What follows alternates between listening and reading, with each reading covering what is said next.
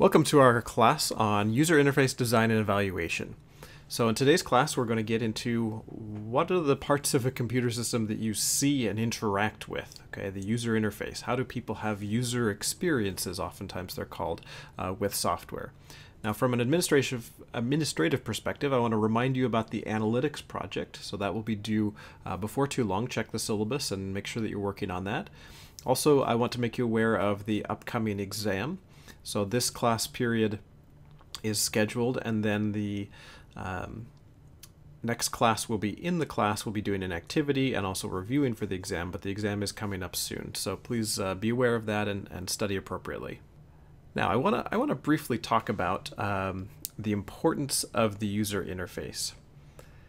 There's a, a, Dilbert cartoon that I'll link uh, in the description here, but uh, the user interface is very important. Um, for most people, when they think about a particular type of software or a particular an app or a particular thing, they, they really are thinking about the user interface.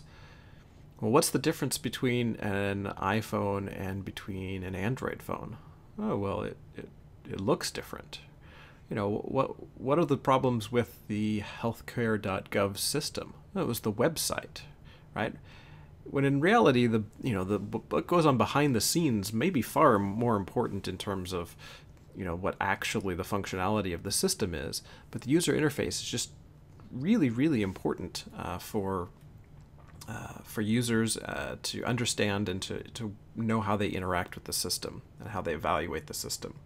So there's a, uh, a Dilbert comic um, where Dilbert is giving a technology demo he tells I'll, I'll link this, but uh, he he says that the the software isn't 100% complete. Uh, if you had a if it had a user interface, you'd see something here and here and here, and then you'd be saying, "I got to get me some of that." Uh, and this points out, even in a Dilbert comic, that you know the user interface really is you know the part that makes people desire uh, a, a, system, love or hate a, a computer system.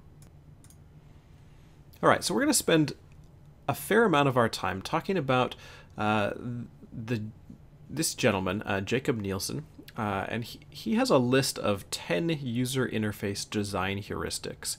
These are heuristics, if you're not familiar with that term, it means a rule of thumb. So these are rules of thumb around how you should do uh, or not do uh, user interface design. And Nielsen is a kind of a self-proclaimed guru on user interface design, and people pay attention uh, to him. He's he's been very influential. There's other people who are also influential in this field. Jony Ive, for example, from Apple, and, and others.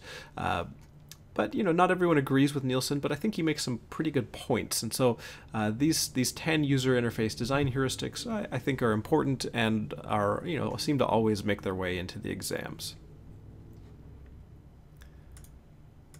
So let's walk through them one at a time. The first has to do with the visibility of the system status. Now, have you ever used a system, you know, or website or something like that, and you click on a button or you do something in the system, and then you don't really know if it's working or not. You wait, you think you clicked it, maybe it's working, maybe it's thinking, maybe it's processing, maybe it's not. Uh, so, in a good user interface, the user should always have visibility of the system status, meaning they should always know whether the system is doing something or not. If you click a button and it's going to take some time, there should be a visual cue that helps the user know, oh, okay, well, this is going to take a while to upload or to process or to copy or to do whatever. And so oftentimes we have things like uh, on the screen, we have progress bars. We have, uh, you know, on certain you know sometimes the mouse changes uh, to be you know an hourglass or a spinning wheel or something like that. And so we we have some indication that that something's happening the system's working and the user isn't left to just imagine you know hey is this working? Is it broken? Is it frozen? What's going on? That's number one. Number two has to do with a match between the system and the real world. And there is a little bit of controversy on whether this should be the case or whether it shouldn't. Uh, but it's still an important, even historical um, design heuristic. So let's talk about it for a bit. The idea here is that we often use metaphors or examples from the real world to help us understand how to use technology. Now, part of this is because as technologies are introduced, sometimes we just don't we don't get them and people don't understand them. You know you you talk to you know your grandparents if they're if they're still around and you know they understand technology differently than than you do. Uh, you know kids understand technology oftentimes more than than we do. And so it's just different because our metaphors are different and we grow up sometimes with the metaphors and don't even think about them. Here's an example of what i'm talking about. So what do we have here this metaphor shows a table or a desk with a phone on it, with some pictures on it, some documents on it, and this represents this the most dominant metaphor in user interface design over the last 30 years, this concept of a desktop, right? So when we use a computer, we have our desktop. We take our files out and we uh, you know open our files. If we open a second file it goes on top of that first file and we can then view it if we want to shuffle them around. We also oftentimes have you know a place where we can put uh, files that we don't want to see anymore or that we want to get rid of. And so this metaphor the desktop metaphor is extremely important uh, and has been like i said the dominant metaphor on pcs and laptops for a very long time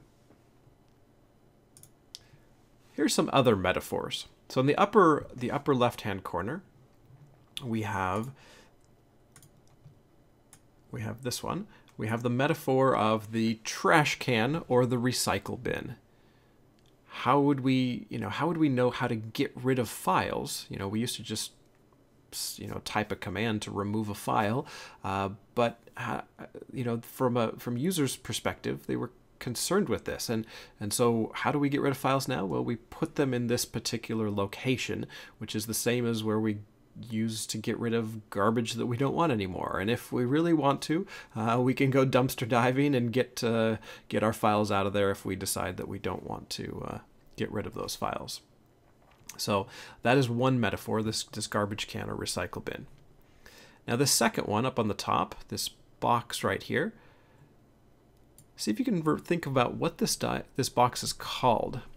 That is asking you questions and and wanting you to uh, respond with a particular answer. If you haven't heard of the name of this before, these are actually called dialogue boxes.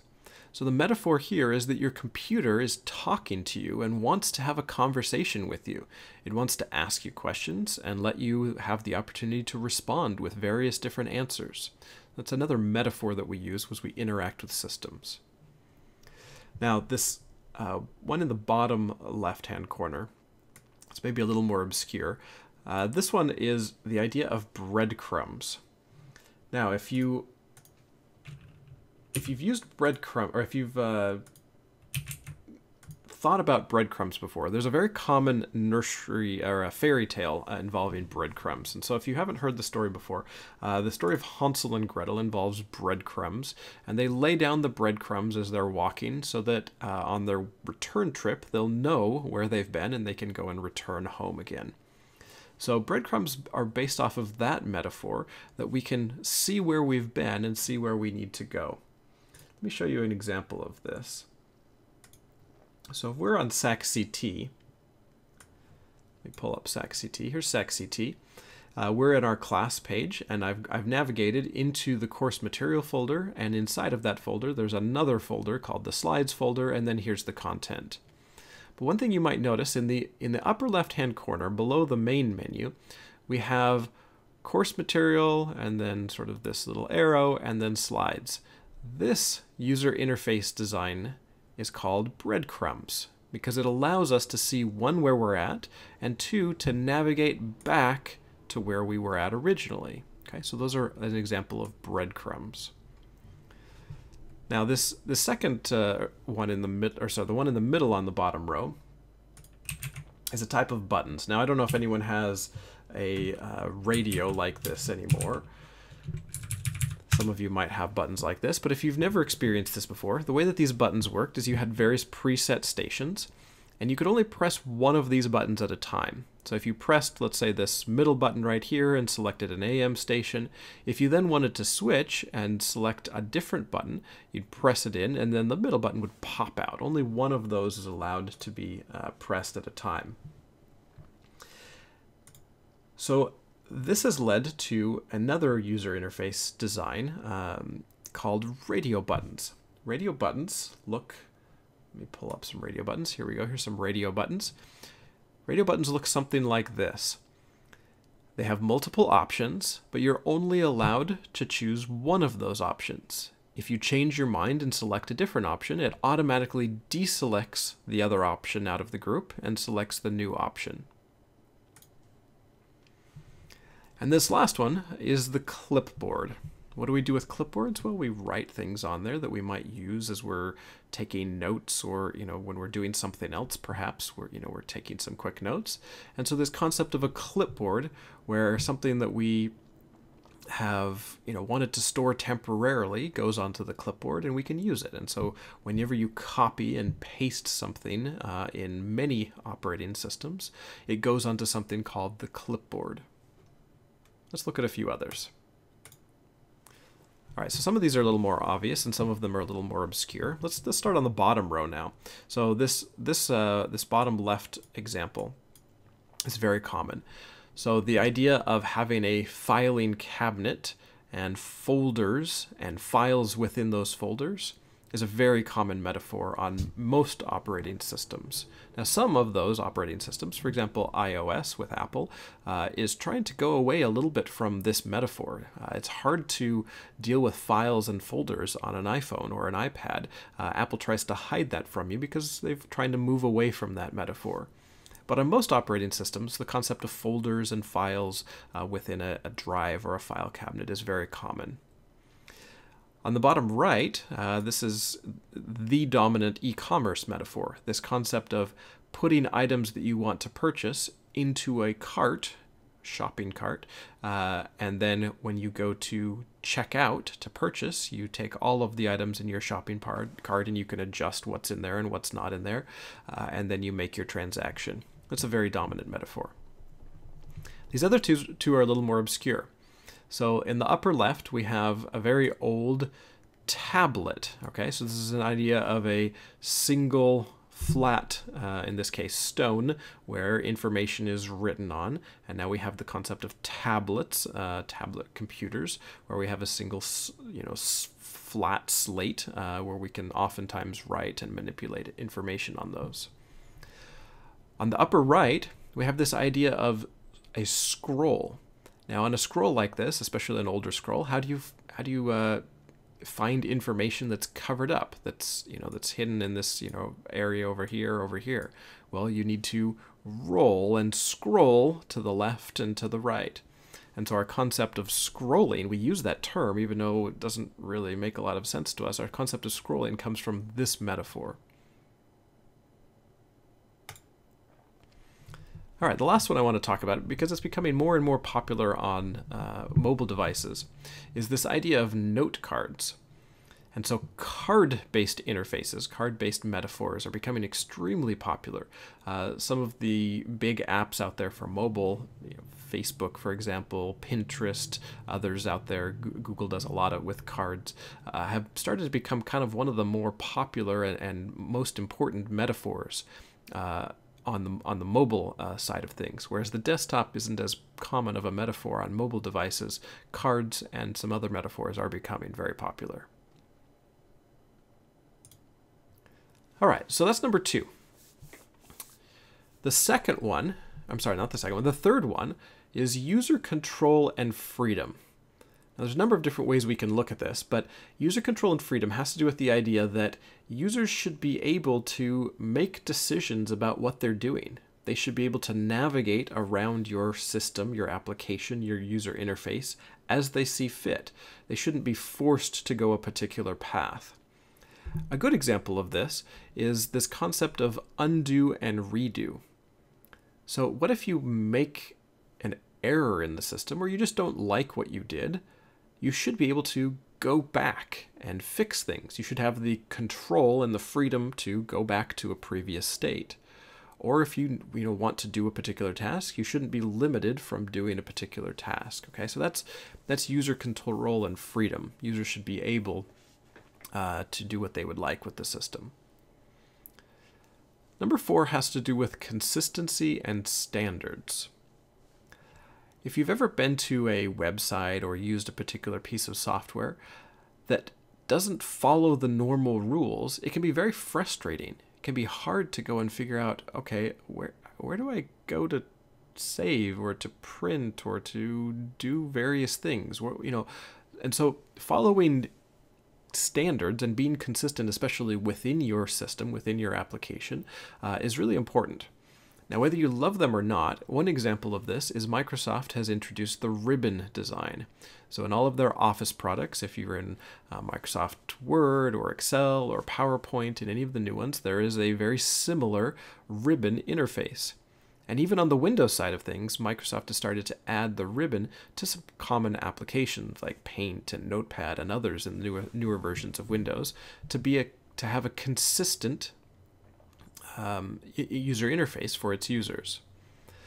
Another example of this, I don't know if you can quite see it on the page, uh, is this symbol. Hopefully I can circle it. And here it is up here again.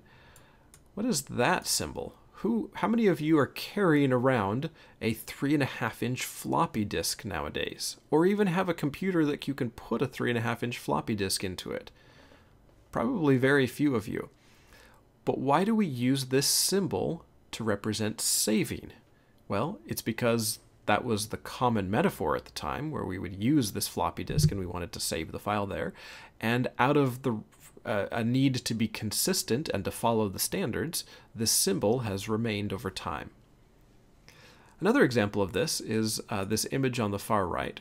If you're familiar with this, on iOS, uh, iPhone, and iPad uh, applications, this is the standard template for creating an icon for an uh, for iPhone or for an iPad.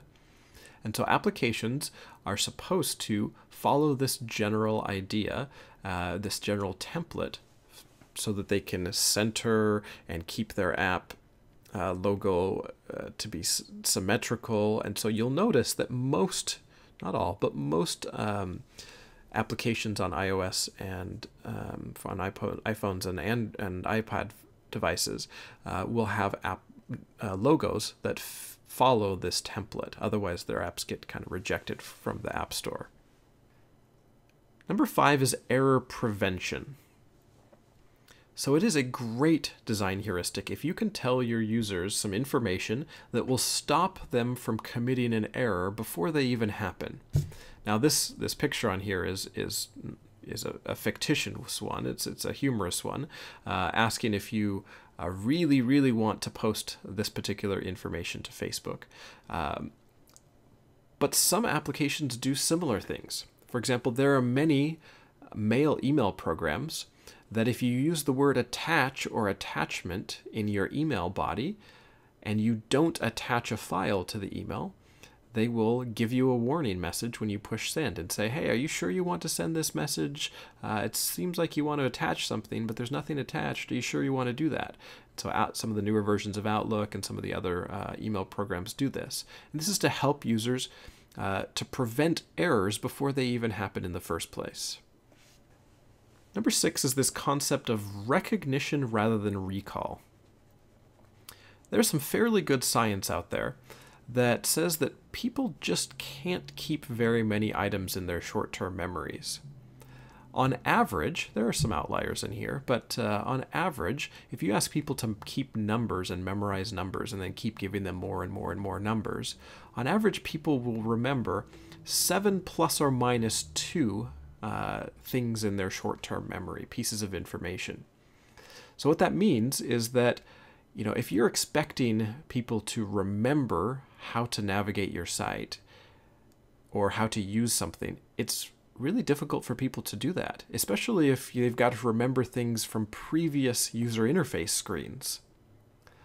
Instead, though, if you can make recognition rather than recall, meaning that they can view the screen and just recognize where they should go or what they should do, that's even better.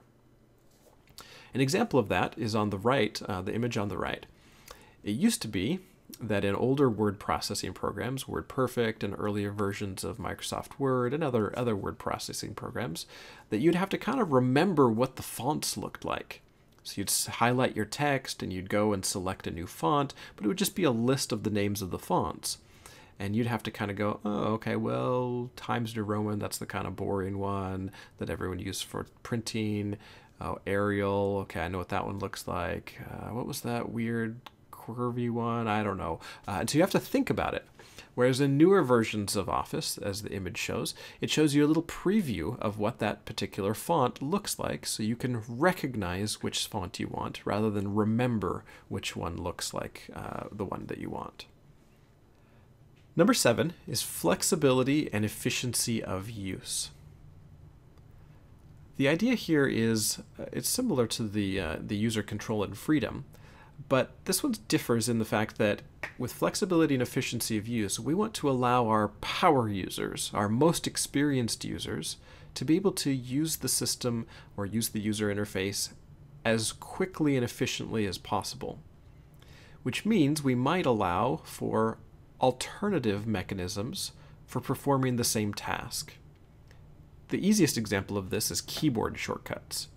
So for example, you can go and do something in a, a, system by selecting you know one of the menu items file edit etc uh, and then selecting the sub uh, menu item that you want or in some cases you might be able to just use a keyboard combination for example some of the most common keyboard combinations are to cut, copy, and paste. And most software applications use uh, on Windows Control X, Control C, Control uh, V to perform copy and paste uh, pasting. Uh, similar keyboard shortcuts exist on, on a Mac. I remember distinctly for, for my uh, dissertation research uh, that I was doing, there was one application that I needed to use, and I needed to do a lot of copying and pasting. But that particular piece of software did not support keyboard shortcuts. You could copy and paste, but you had to use the file menus. You had to use the mouse in order to select it.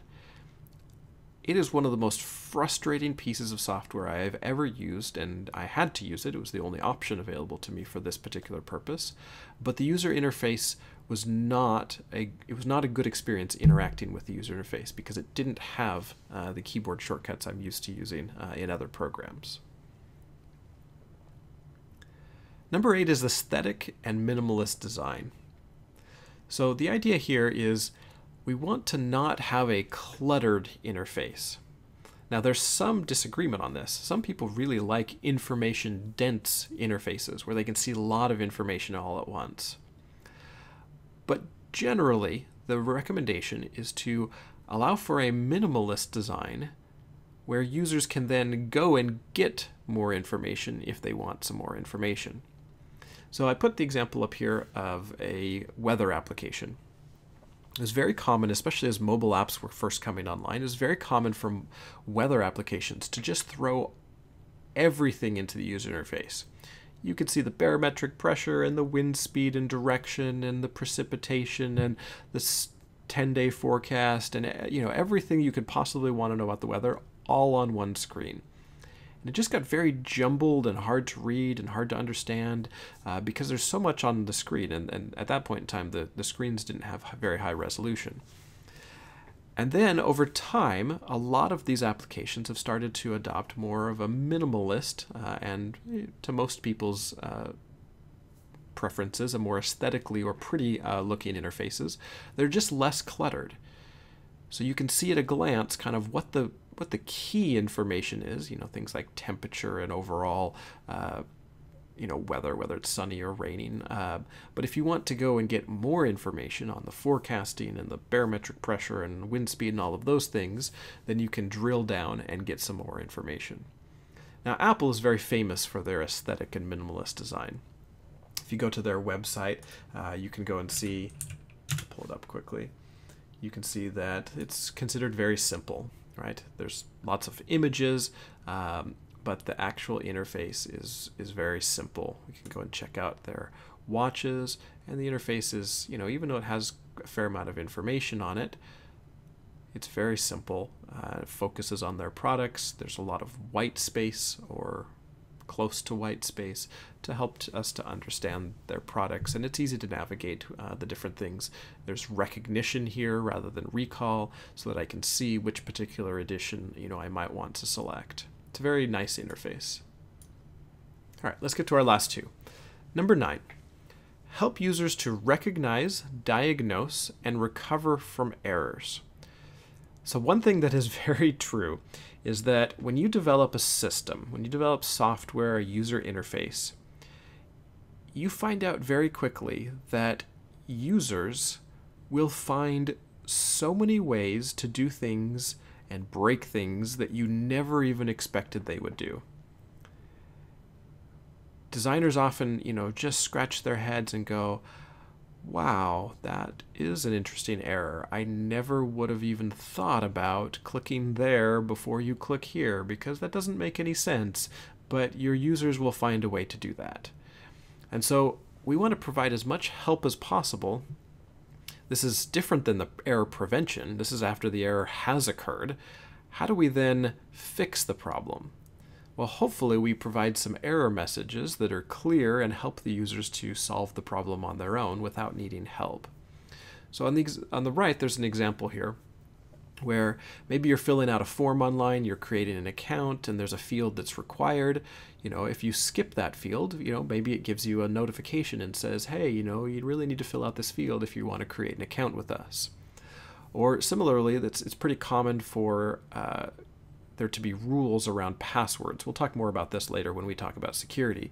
But oftentimes there'll be some information on, hey, you know, your password doesn't have any of the characteristics that we want it to. It's not long enough. It doesn't have the characters that we require. You know, you'll need to fix that before you create an account with us. And so these error messages hopefully will help uh, those users to, again, figure out what the error is and then know how to how to solve the problem. And then the last design heuristic is a fairly straightforward one, but we should provi provide help and documentation to our users. Okay. Now, obviously, it's best if the users are the interface is so good, the recognition rather than recall, and everything is so clear that it doesn't require documentation. You know, uh, people really loved the original iPod. Why? Because you could figure out how to use it without reading the instruction manual right? So that's that's good uh, design, user interface and user experience design. But at some point in time, people are going to need help. There's going to be something that's too complex or they're not going to figure out, and it's best to provide that documentation in as clear a what method as possible. An example of this is most of our major pieces of software like our Office suite software and you know the creative suites from Adobe and things like that. Most of those uh, have a very standardized method of getting help. Uh, oftentimes that's represented by this sort of circular question mark icon. That's one method of getting help. Also, the F1 function key is, is often the kind of the universal uh, button for getting help. And it's kind of cool in the in the versions of uh, Office if you press the F1 key or, uh, or go to the help, the help is contextual, right? You can go to the general help for Microsoft Office, for example, but if you're doing a particular task and you select help in Microsoft Office, you'll get the help for that particular topic. And so Microsoft, even though they have their own failings when it comes to user interface design, has actually designed their help to be quite good uh, because they have many users who have needed help over the years, and the help is now much much better than it ever has been. So let's go to this example. This is a piece of software. I actually really like this piece of software. It's the best piece of software for doing one particular job that sometimes I need to do uh, which is to rename a bunch of files. So sometimes I have a bunch of student files, for example, database project files or something like that, and I want to rename them. Uh, this is a great piece of software for doing that. But I want you to think to yourself and evaluate uh, this piece of software on some of the concepts that we've just learned. Is it easy to recognize, rather than recall, what I should do next? Does this have minimalist and aesthetically pleasing user interface design? Does it provide keyboard shortcuts? Well, it's hard to tell on that. Um, but let me just say, this piece of software is exceptionally useful for what it does and super hard to use. It doesn't matter how often I use this, I always have to go and look at the documentation. And their documentation is okay, their help is okay, in order to just remember what each of these things does. It's just not a very nicely designed user interface, even though it's a very functional piece of software. All right, let's talk about a couple of other concepts, and then, then we'll maybe get to some examples. First of all, prototyping prototyping we've talked a little bit about in term in the context of system development, but prototyping also is really popular and really common in user interface design. Now, why, why do we create a prototype uh, instead of creating the, just the user interface design first? Well, because in the long run, it saves us a ton of time and a ton of money. It's relatively easy to perform user interface prototyping. It's not always easy to prototype the whole system, but for user interface, it's often very easy to do and it helps us to fix a lot of the problems that might exist before we actually commit ourselves to the final development of the project. Now, it's there's a couple of dimensions uh, to talk about prototypes. One of the dimensions has to do with its fidelity. What I mean by fidelity is the level of detail that exists, and we'll see this more in, in the upcoming slides. Another way, though, of categorizing prototypes, this separate from fidelity, is whether these are horizontal prototypes or vertical prototypes. Here's what I mean by that. A horizontal prototype is very broad. It might show a lot of the different screens, a lot of the different uh, interface uh, user interfaces, but it doesn't go into much depth on this. Whereas a vertical prototype may not show the widest variety of the user interface, but it does it in great detail. Here's a real life example. A few years ago, a couple years ago actually, uh, Amazon.com redid most of their user interfaces on their apps and also on the website. If you were redesigning that user interface and you were wanting to create a horizontal prototype of that, what you would do is you would create user interface designs that would cover all of the major screens that you're going to experience on the app or on the web for Amazon.com. Maybe the home screen, maybe the account screen, maybe what a product screen looks like. What does the shopping cart screen look like? What does the checkout screen look like? You know, and, and some of the other screens, the music streaming uh, screen. And so you'd look and you'd see a very broad view of the overall uh, set of user interfaces for the site. On the other hand, a vertical prototype might be let's just look at the shopping cart and checkout functionality. And let's evaluate all of the potential screens and the details of those screens that we would need to for every possible circumstance. What happens if we are removing items from our shopping cart. What does that look like? What happens if we are changing which payment type we're using? What happens if we're using a credit payment versus a gift card payment? What happens if we want to use a promotional code? What happens if we want to change our shipping options? Okay, what are all of the screens associated with all of that? And so that would be a vertical prototype. We're focused on one particular or a few particular features or aspects of a system, but we go into great detail to make sure that we get all of the prototyping done before we build the system. All right, so again, fidelity has to do with the level of detail. So here's an example of a low fidelity prototype. Sort of like a uh, you know scribbles on a napkin kind of idea, where you can very quickly, even with someone with the artistic ability that I have, create a overall user interface and then get feedback on that. You know, maybe this is a great design, maybe it's a terrible design, but you can quickly get feedback on this user interface design. Here's another, uh, you know, low fidelity sketch. So for example, this is an application, a very kind of an old music player application, and for whatever reason, the uh, the designers thought, you know, we want to have a little drop down box in this corner where we can select musical genre. And here's, you know, the, the prototype and how that would actually kind of work from screen to screen to screen. And you can very quickly see how this app would, would actually do that. Uh, because this low fidelity prototype gets the functionality across well enough that you can see what's going on. So, we've talked about this already. Doing high fidelity prototyping or traditional methods of creating user interfaces in their, in their fullness often takes a really long time to do it right. Low fidelity prototypes are, are really good enough for most things. We can create very quick sketches and allow for evaluation. The other thing that's cool is we can allow both designers and non-designers uh, to be involved in the process. We can have experiences where, for example, you sit someone down, a potential user or a user at the, at, at the system, show them a sketch and say, hey, you know what?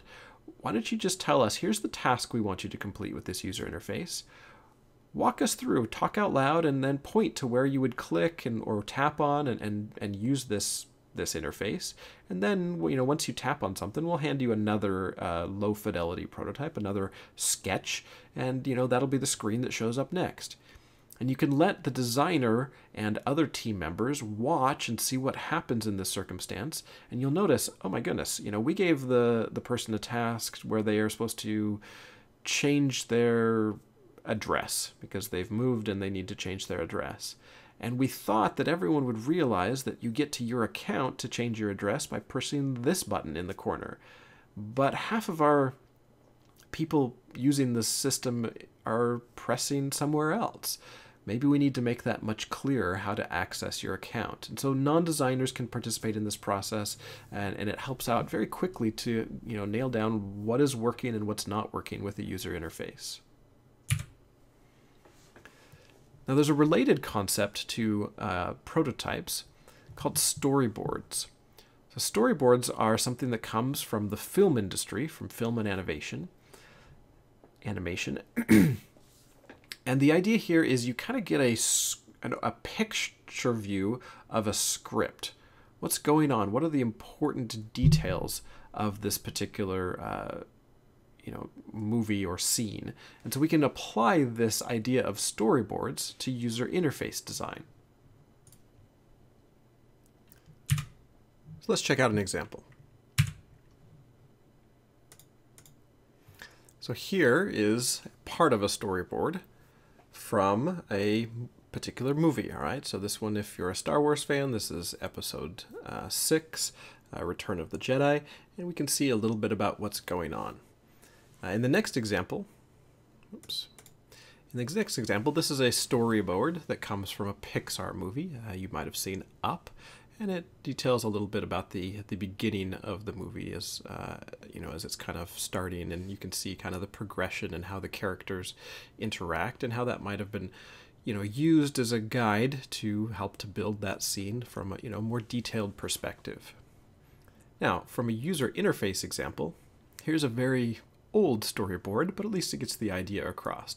So on this screen, you can kind of see, or sorry, in this image, you can kind of see the various screens or the various user interfaces for this chat app. Okay, and again, this is old, but you can see that there's kind of, you know, some some main, you know, screens up here at the top where you've got you know the various different contacts and whether they're available or not and some inter, inter, or information about them. You can see that if you were to you know hover over or click on these icons over here you might get some more information about them. If you clicked on a, a contact and, and hit message or chat you, you would go to various different screens where you'd be able to send a message or open up a chat screen.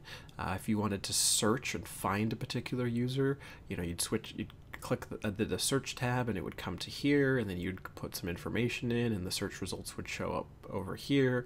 And so you can see as you click and interact with the system that these low fidelity prototypes, you can kind of see how the user would flow from one screen to another screen uh, in a storyboard. All right, now for, for prototyping, there's a number of different tools available for more high fidelity prototyping. Uh, there's you know much you know professional uh, tools and things like Visio.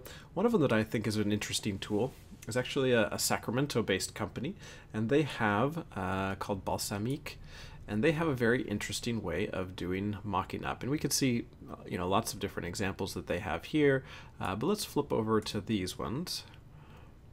Here are some of their mobile uh, user interface prototypes.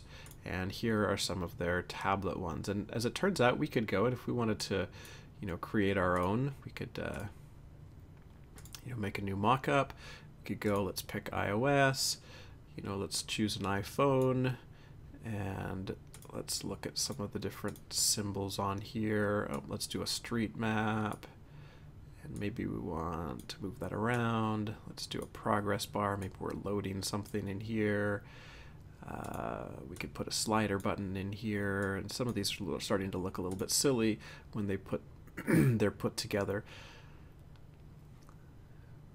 Maybe we want to have a time picker. Let's move these around and we can change. Anyway, you can see quickly that I can go and, and kind of create a fairly, you know, a fairly decent high-ish fidelity prototype fairly quickly, uh, you know, just by moving things around and I can, uh, you know, adjust the alerts, I can adjust the map, I can, you know, kind of get an idea for the various different user interface quite quickly, right? We can do the same thing with other types of, you know, applications. We could do, you know, here's a browser window, we could create a web page and do the mock-up for that, you know, and other types of devices as well, you know, Windows, uh, you know, Windows Form and, and things like that. So Balsamiq's a very nice tool for quickly uh, doing prototyping. All right, now I'll, I'll post a list here. Uh, usually at this point in class, uh, I'll walk us through some of the kind of the notable uh, web designs out there. So this, this list contains a few of the famous, uh, usually considered poor web designs out there. And so if we were to click on a few of these links, you can kind of see that there is a lot going on here. This is a UFO uh, website, and there's just a lot of things going on on this site. It typically, this one's actually much better than it used to be. It's very cluttered, it's hard to navigate, there's some challenges here. Uh, this one is, is not as bad as it once was. Now the next one, uh, I'll give you fair warning. This is the art.yale.edu uh, website. They've purposefully made it so that any of their students can edit it at any time. So it changes almost daily or even sometimes hourly, and occasionally it is not really as appropriate uh, in content. So we'll see what it's like today.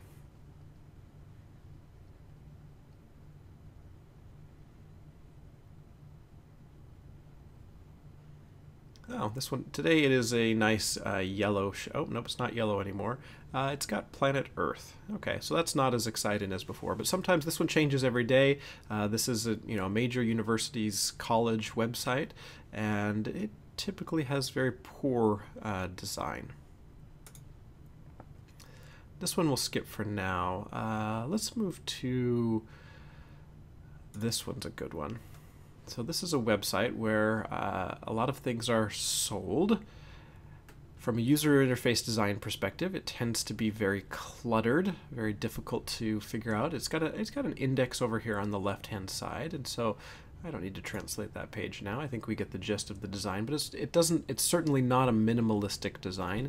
It's hard to figure out where you might find things. There's a few groupings, some things that are sort of grouped together, but they don't seem to necessarily relate to each other.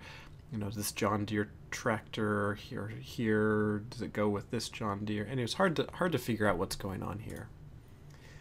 This one tends to be one of one of my favorites. Hopefully, it will work. This is a website in the UK where you can rent cars, and uh, there is a lot of things going on. Not sure what the chicken is doing. Uh, it's walking around. Other things walking around. I don't know if on the video you can hear the sound, but it's there's a lot of things going on. There's our chicken again. There are many things going on on this side. All right, I, I don't know if I can handle that anymore.